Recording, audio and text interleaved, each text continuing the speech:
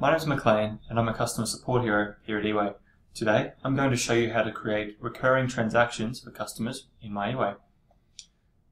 Click on Payments and then Recurring Payments and then we're going to go into Customers.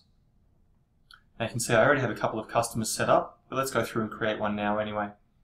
Click on Create Customer and I'm going to enter in their first name and last name.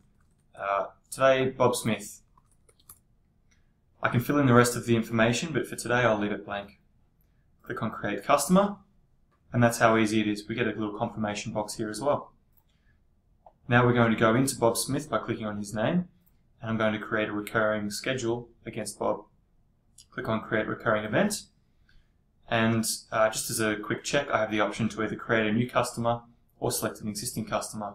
So let's go and select uh, Bob, which we've already created. I can do a quick search by first or last name, or I can just click on the tick box next to Bob.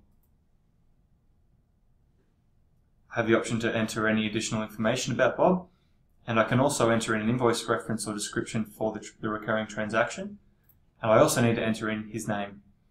Now this name is for uh, his card, and then his card details as well.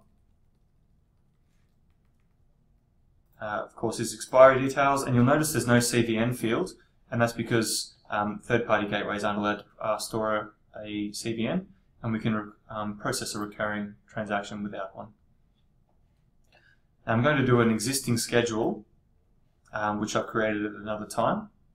You can see here I already have a membership schedule set up for $100, um, going for one, every one month for two years. Now if that's not the schedule I want to use, I just click on back, and I can click on one-off schedule. Now this interface is exactly the same as when I was creating the schedule in the first place. So for the initial payment, which is um, a transaction at the very start that might have a slightly different amount to the recurring amount, say a setup fee or uh, possibly a discount on the first transaction, my initial payment is going to go through on Friday. It's going to be for $50. Then my first recurring transaction is going to go through um, one month later, so on the 17th again, which is a Monday. And I'm going to end it uh, one year from there, so uh, we go through to uh, August 2016. And again on the 17th, in fact one year would be July, so the 17th of July. Uh, and payment is going to go through every one month. I have the option for days, weeks, months, or years, and of course any number. Uh, and the recurring amount is going to be for $100. Now I click on continue, and I'm going to get a confirmation of the uh, details here again.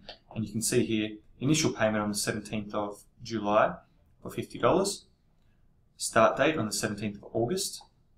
Payment every one month running until the 17th of July 2016, and the recurring amount is $100. I'm happy with that, so I click on Continue. And just to make sure you've got everything set up correctly, um, we give you a confirmation of all the transactions. So this customer is being charged 12 times, as we can see up here. The first one is for $50, and each subsequent one is for $100, um, starting on the 17th of August, ending on the 17th of June.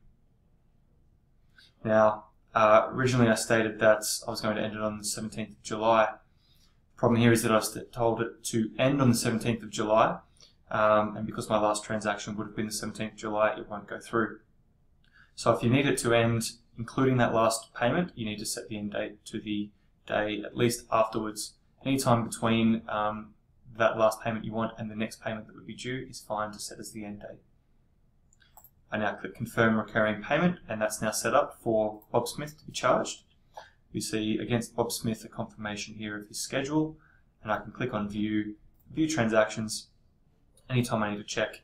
You can see here we have all these pending transactions to be processed in the future. If you do have any questions about recurring transactions, feel free to get in touch with us. There's a chat button uh, pretty much anywhere on the website or in my eWay, and we'll be happy to help you out. Thank you very much for being a valued eWay customer. Bye-bye.